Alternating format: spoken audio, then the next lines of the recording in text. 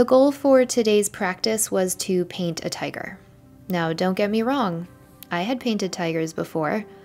Unfortunately, I walked away from the experience with the belief that I cannot paint tigers.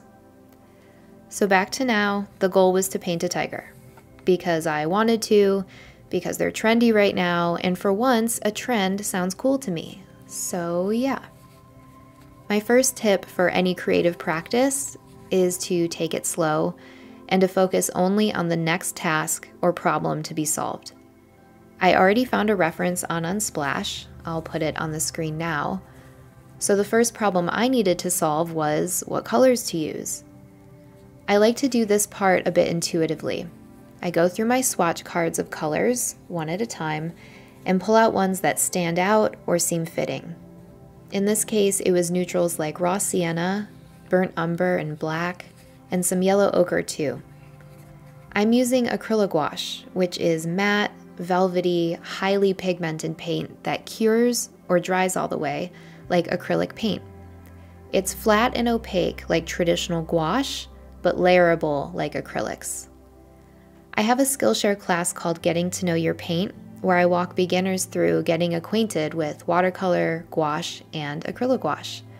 I'll share the link below, which will get new Skillshare students a full month of courses, mine and all the other amazing teachers on there, for free. And if you're already a student, then you know that you can begin watching my and everyone else's courses as soon as you're ready and at your own pace. So, anyway, I've picked my colors, that problem is solved. And now the next problem is where to start on the paper. So I grab my pencil and do a light sketch to outline the shape of the head and the placement of the eyes and the nose. It's time to get the paint on the paper. That's the next problem to solve. In looking at the reference, it looks like the colorful saturated parts of the tiger fur lay beneath the darker details. So I'm going to lay down mixes of the ochre, raw sienna, and burnt umber to begin creating a base form for the head.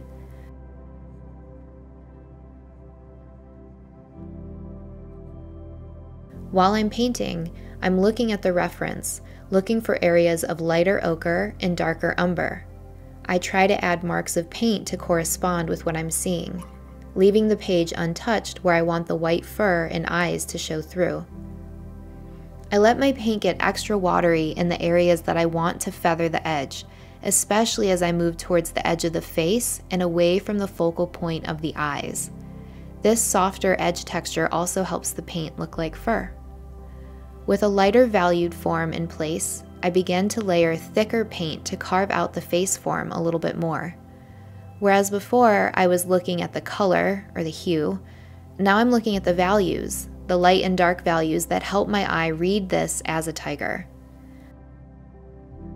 I dip into my black paint and start laying down the dark areas that define the eye shape and pull in the viewer's eye.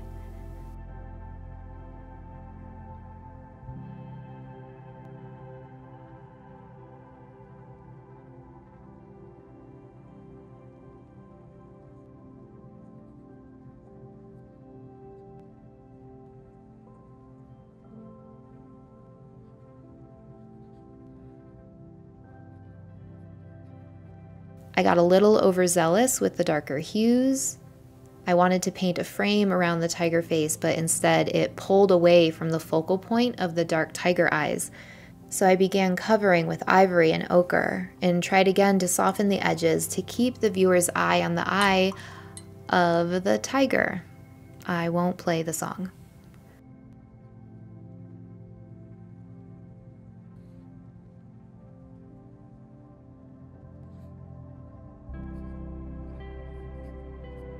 For finishing touches, I used my same size 6 round brush, but I utilized the point of the brush to get finer marks, which I used to define the pupil of the eye, as well as add lines around the nose and little whisker dots around the mouth.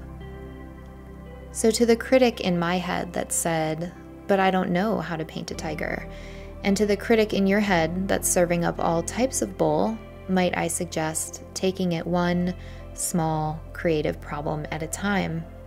Clear a space, grab your materials, begin, and see it through.